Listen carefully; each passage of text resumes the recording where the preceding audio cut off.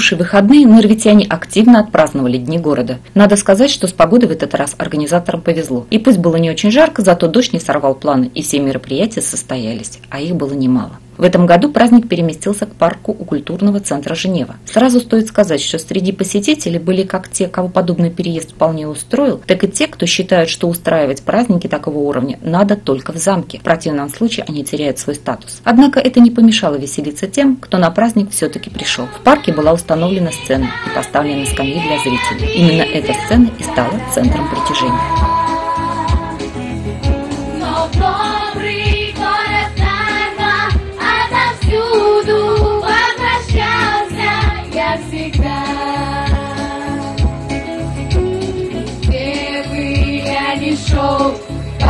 Бы дальний не бывал я.